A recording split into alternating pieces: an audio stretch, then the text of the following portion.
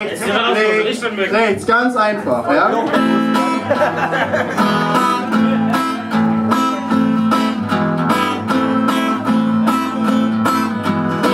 Ich träum seit Jahren schon von einem kleinen Garten. Ich schieb das schon seit Jahren vor mich her.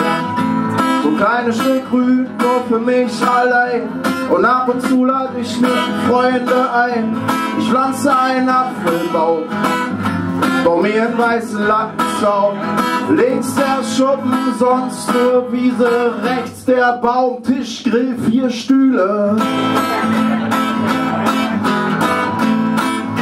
Ja, winken ist schön, das macht ihr richtig gut, meine Wiese winkt. Ich träum seit Jahren schon von Kleingarten, schiebt es schon seit Jahren vor mir her. So ein kleines Stück Grün, nur für mich allein. Und ab und zu lade ich die Nachbarn ein. Lerne meine Nachbarn kennen. Links der Rentner, rechts ihn ist Justin Sven. Justin, blond, zwölf Jahre alt. Wirkt für sein Alter ziemlich schwer. Er hat nicht wirklich viele Hobbys, außer Kokeln und nem Luftgewehr.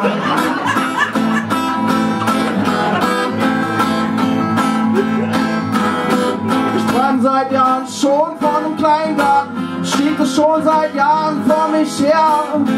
So ein kleines Stück Grün nur für mich allein. Und ab und zu lade ich mir Freunde ein. Der Baum erweckt, ist hochgezüchtet, mit Anwachsgarantie, Justin nervt. Doch mein Baum trägt endlich Früchte. Ich kaufe eine Leiter und eine Kiste, speziell für Äpfel, denn ich weiß ja, was ich tue.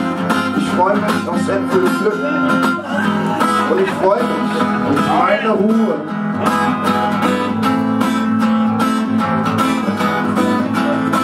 Letzte Strophe, Leute, jetzt wird's ernst. Ernst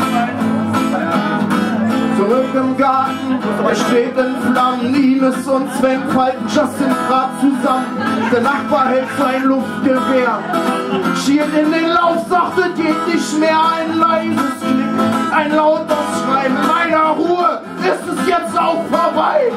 Ich dreh mich um, rein wie mein Hinterteil und brüll ihn an, Alter, muss das sein. Ich fang seit Jahren schon von Kleingarten, schiebe schon seit Jahren vor mich her. Ein kleines Stück Grün nur für mich allein, aber da war nirgends ein Luftgewehr.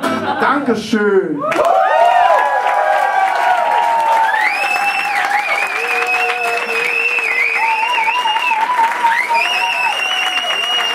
Die Blumen behalten, Leute.